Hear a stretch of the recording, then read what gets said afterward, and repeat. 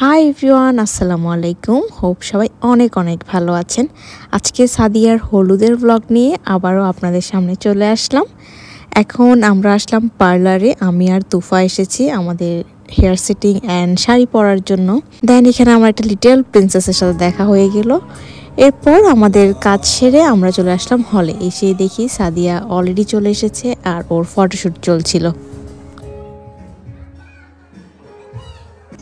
এর একটু পরে আমার ফ্রেন্ড মোমো চলে আসলো, সামিরা চলে আসলো, একে একে সবাই চলে আসলো। আমাদের এই কোনো ফ্রেন্ডের বিয়েতে আমরা সবাই একসাথে হয়েছি আর এত ভালো লাগছিল যেহেতু সাদিয়া আমার school friend college friend so আমার সব সার্কেলের সাথে একদিনেই দেখা হয়ে গেল। As you all know that আমার ভ্লগ শেয়ার করতে হবে দ্যাটস ওয়াই আমি ছোট ছোট ক্লিপস নিয়েছি কিছু। যদি একটু ব্যস্ত ছিলাম সব কিছু নিয়ে। আর আমাদের ডান্স পারফরমেন্স ছিল। রিহার্সালের ভিডিও তো আমি অলরেডি আগেই শেয়ার করেছি। হোপ আপনারা সবাই দেখে ফেলেছেন। আমরা সবাই হাতে গাজরা পরেছিলাম। তো আমার ফ্রেন্ড যারা বাকি ছিল, ওদেরকে আমি লাগিয়ে দিচ্ছিলাম।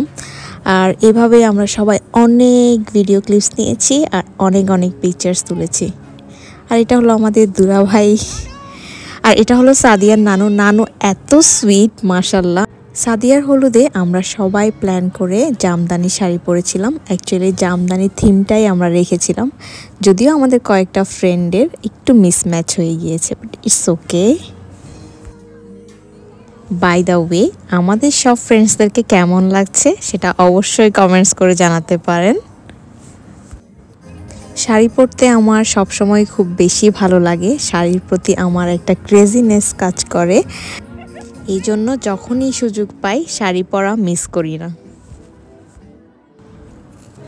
আর এ হলো আমাদের নিউলি ওয়েড বান্ধবী। ও আসার পসিবিলিটি কম ছিল বাট অ্যাট লাস্ট ও আসলো। আর আমাদের এত ভালো লাগছিল যে ও আসতে পেরেছে অ্যাটেন্ড করতে পেরেছে। হলুদের দিন সবচেয়ে মজার মোমেন্ট ছিল খাওয়ার টেবিলে যেহেতু হলুদে মেজবানির আইটেমটাই বেশি থাকে চিটংয়ের বিয়েতে। সো আমার ফ্রেন্ড সুস্মিতা, ও একটু প্রবলেমে পড়ে গিয়েছিল যেহেতু মেজবানির অ্যারেঞ্জমেন্ট ছিল। তো এটা নিয়ে আমরা অনেক বেশি দুষ্টামি করছিলাম আর আমার ফ্রেন্ড মোমো আমার সাথে থাকলে আমাকে হাসতেই হবে। আমি হাসার জন্য কোনো কথাই বলতে পারছিলাম না।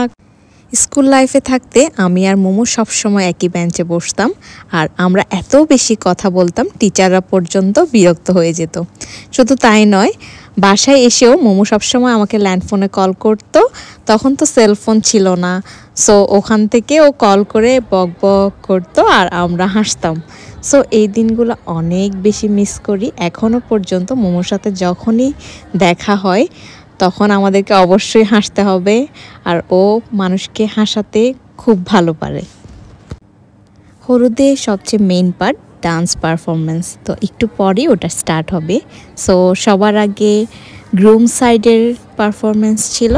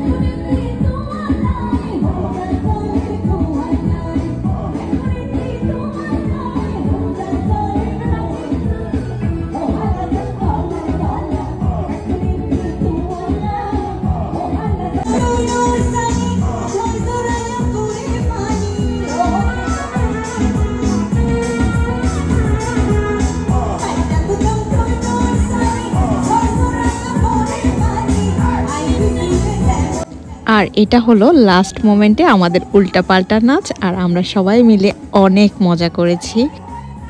আই হোপ আপনাদের সবার আজকের ব্লগটি ভালো লেগেছে, আর ভালো লেগে থাকলে লাইক কমেন্ট এবং শেয়ার করতে ভুলবেন না। আর যারা সাবস্ক্রাইব করেনি প্লিজ ডু সাবস্ক্রাইব